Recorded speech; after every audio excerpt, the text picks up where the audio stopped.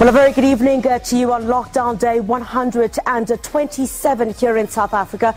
You're watching the full view on the SABC News channel. I'm Criselda Lewis. So tonight we unpack uh, the crime statistics released today. We'll be joined by the Institute for Security Studies uh, and the National Police Commissioner, General Kehla Sithole. Also, COVID-19 treatment trials begin in South Africa. We'll look at that and much more. But first, your headlines. More than 21,000 people killed in the last financial year as the latest crime stats show an increase in murders and sexual offences. And as the sale of illicit cigarettes saw, the tobacco industry could shed up to a quarter of a million jobs because of the lockdown ban. And attorneys hired by ex-police minister Nathi Nhleko testify about the report that resulted in the suspension of the then IPID boss, Robert McBride. Rolene Strauss, Demi Peters, and now Zozibini Tunzi. In recent years, South Africa's had a good run in international pageants, but some say there's just something a little more special about Zozi.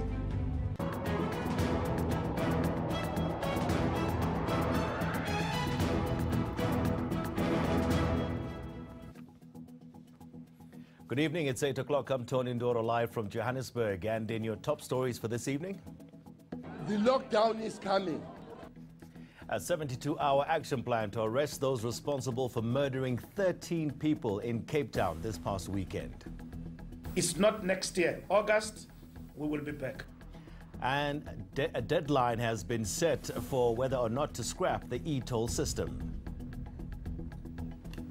Outrage and frustration as people queue for hours and wait for months for documentation at the Umgeni Home Affairs Office in Durban. Thanks, guys. Now, a lockdown is being considered following a bloody weekend in Philippi, Cape Town. But Police Minister Bheki says there will be no shoot to kill. Six women were gunned down in the area on Friday night, bringing the death toll to 11 for the weekend. Cele is promising widespread reform, but says residents must help expose the criminals.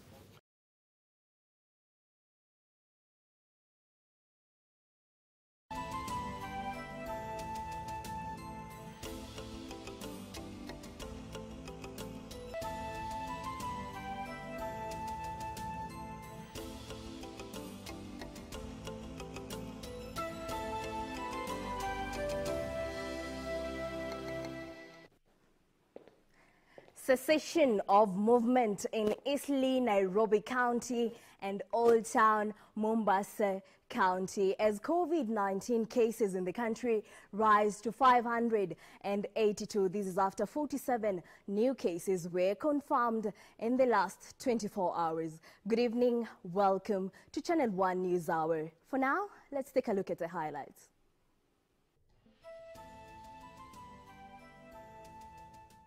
Shall be cessation of movement in and out of Eastleigh area of Nairobi with effect from today, the 6th of May 2020 at 7 p.m. for the next 15 days. There shall be cessation of movement in the area known as Old Town in Mombasa with effect from today, the 6th of May at 7 p.m. for the next 15 days. Government tightens anti-COVID-19 measures as positive cases surge to 582. Devastation across the country as floods continue to wreak havoc across the country. Concern over the fate of those evicted from Kariobangi sewage estate in the wake of the coronavirus pandemic.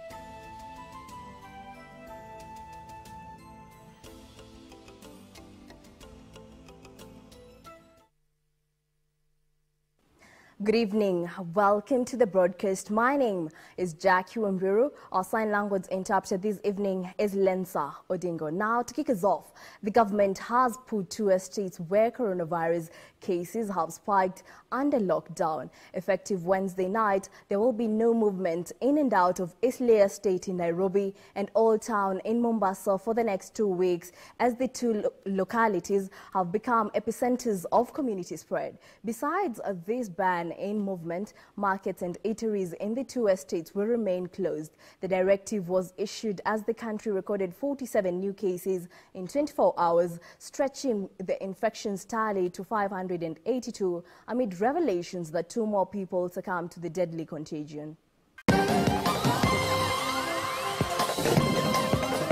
Tonight, still no way forward on the county revenue sharing formula.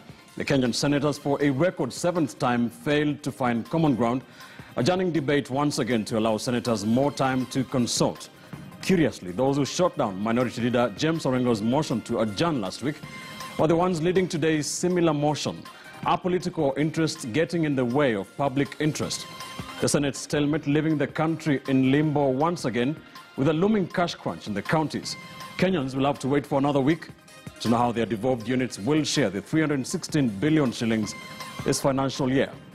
I am Ben Kitili live at the KTN News Center in Nairobi. KTN Prime begins right now. Abstentions 1, Nays 26, Ayes 34. The, the ayes have it. Tonight, Senator John's county's revenue sharing formula debate for a record seventh time.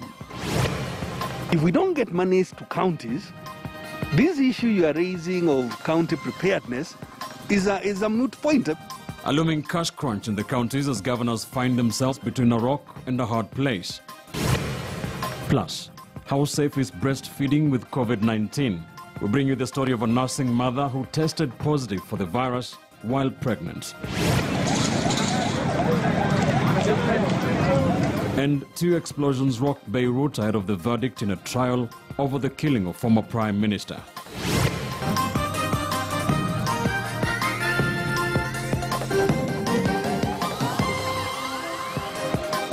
Welcome to the broadcast. Our sign language interpreter tonight is Maresha Owiti. Horrific breaking news tonight.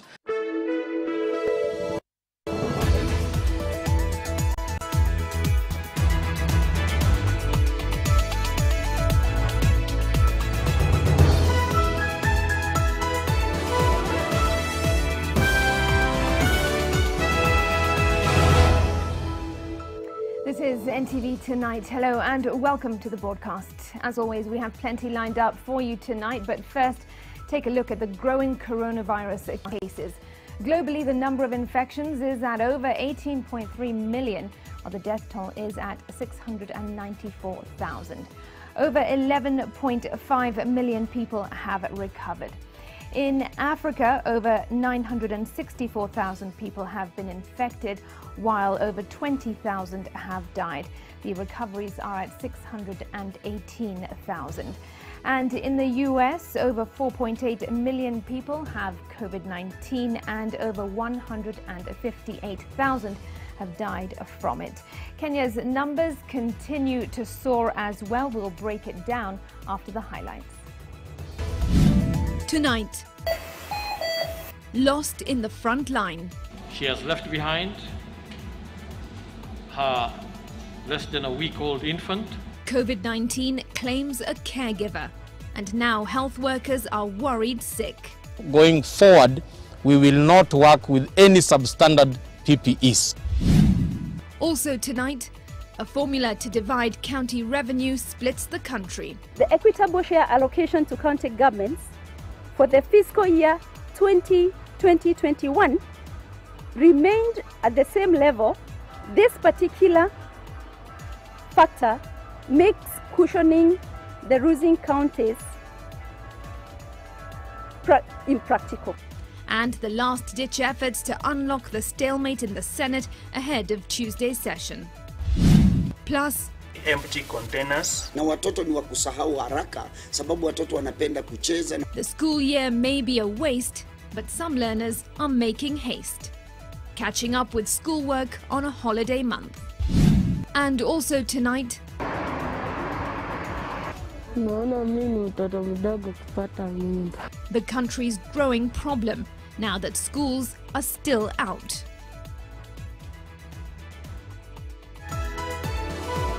NTV Tonight with Smriti Vidyarthi. David Agondoa is our sign language interpreter tonight. To our top story, and healthcare workers in Homa Bay County have downed their tools beginning today following a series of complaints regarding unpaid dues and provision of substandard personal protective equipment by the county government. The recent death of a health worker has made things worse. Naoma Sampao has more.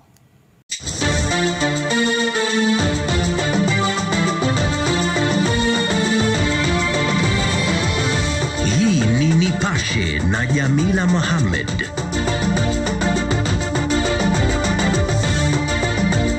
Jambo mtazamaji, ni usiku wa Jumatano. Karibu katika taarifa za Nipashe, lakini kwanza tuangalie yaliyomo.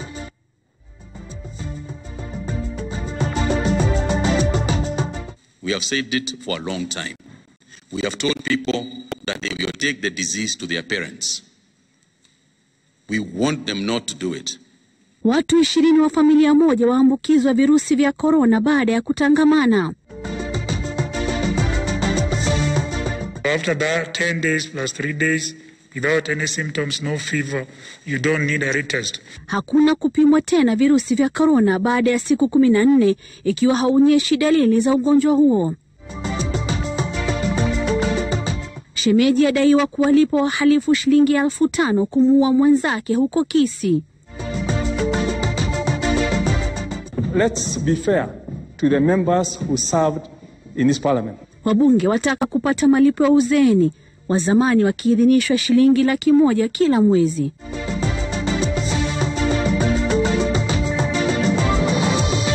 Ananisaidia kwa lugha ya ishara ni Yula Nzale. Karibu. Familia ya wakili wa Nakuru Gordon Ogola imekanusha madai kuwa watu 48 katika familia hiyo waliambukizwa ugonjwa wa COVID-19. Kwa mujibu wa wakili huyo, ni watu wasiozidi ishirini pekee ambao wanaugua ugonjwa huo katika familia yake, na kama anavyotuarifu Raquel Mwigai, ndugu ya wakili huyo ambaye alifariki mapema wiki hii kutokana na COVID-19 amezikwa hii leo katika kijiji cha Ogwevi, kaunti ya Migori.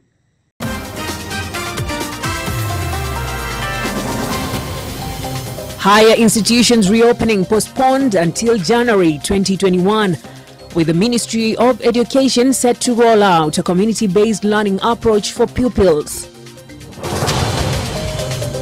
Government to restrict entry of international flights from countries not heeding to COVID 19 containment measures, with only 11 countries allowed to fly in.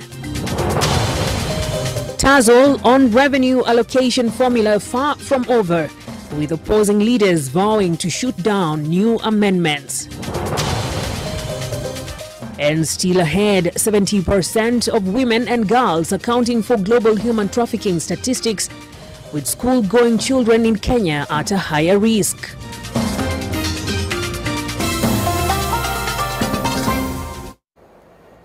Welcome to the live broadcast. Our sign interpreter is Walter Asewe. University and college students across the country will remain closed till January 2021. This is according to Education Cabinet Secretary Professor George Magoha, who noted that the institution of higher education are not well prepared to handle the safety guidelines needed to curb the spread of COVID-19.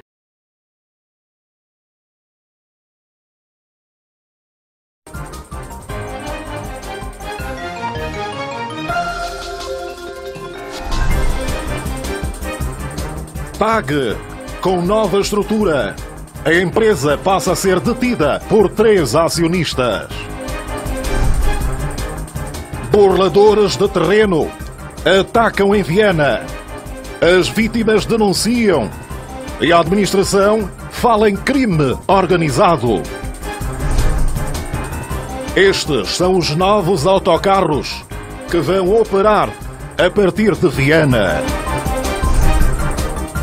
Mais manifestações contra o racismo. Desta vez, na Tunísia.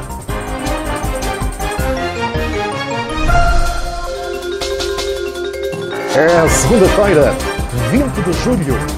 Bem-vindos às notícias. A TAG foi transformada em sociedade anónima de capitais maioritariamente públicos, com o estatuto de empresa de domínio público. Esta nova realidade surge por via do Decreto Presidencial número 186-20, de 17 de julho, do titular do Poder Executivo, e que transforma a TAG em sociedade composta por três acionistas, sendo que o Estado continua a ser o maioritário de forma indireta. O país registra um novo recorde de infecções num só dia. Nas últimas 24 horas foram descobertos mais 17 casos positivos de Covid-19. Vai poder ver neste jornal.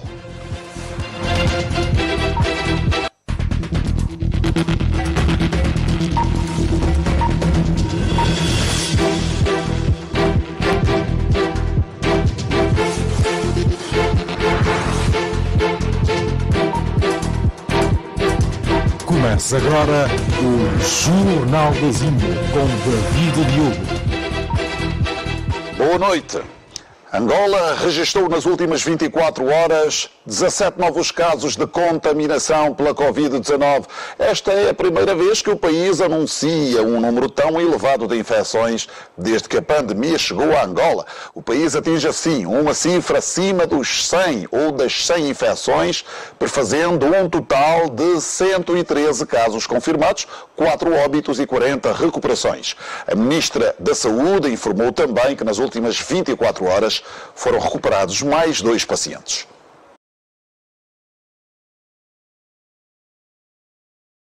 President Pohamba urges Namibian business people to complement government efforts in its quest to take services closer to the people. The SADC Ministerial Task Force on Regional Economic Integration adopts a Memorandum of Understanding on Inter-Regional Cooperation.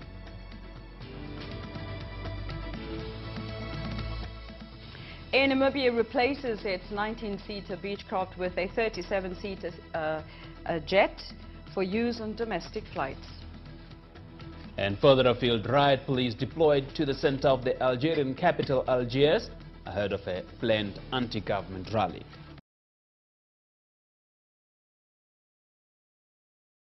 peleka askari wa kulinda amani nchini Libya ili kuinusuru nchi hiyo na vita. Na katika michezo na burudani, Taifa Stars kupata wapinzani wake kesho kufuzu kwa kombe la dunia. Wasomaji wako usiku huu ni Asha Haji na Mbozi Katala.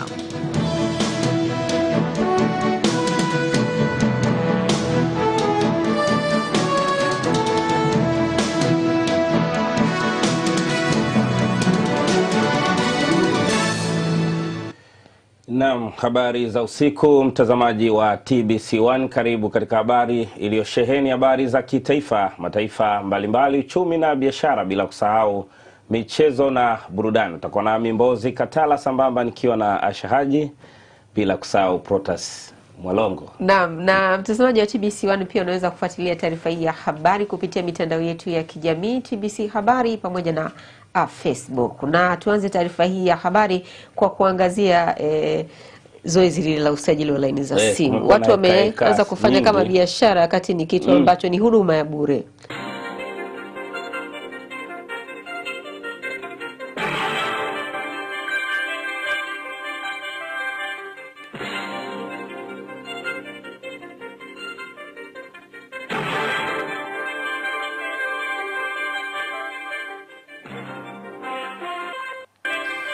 Mafuta ya petroli yaadimika mkoani Mara na kusababisha nauli kupanda.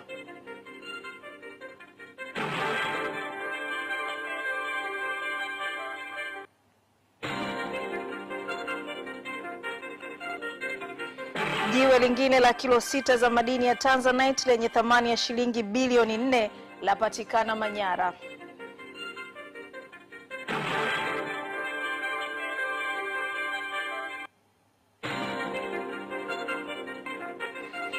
katika michezo, kikosi cha Simba chapata mapokezi ya kishindo Dar es Salaam baada ya kutoa ubingwa ubingwa wa kombe la TFF.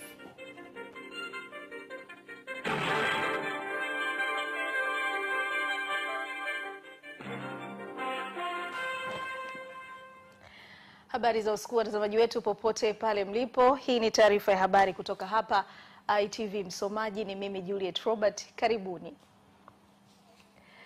Watumiaji wa vyombo vya moto manispaa ya Musoma mkoani Mara wamelalamikia ukosefu wa mafuta ya petroli na kupanda kwa bei ya mafuta kutoka shilingi elfu moja mia sita hadi shilingi elfu tatu hali ambayo imesababisha adha ya usafiri na kupanda kwa nauli, huku watumiaji wa vyombo hivyo wakiomba serikali kuingilia kati suala hilo. Kutoka Mara, Jacqueline Masinga na taarifa zaidi.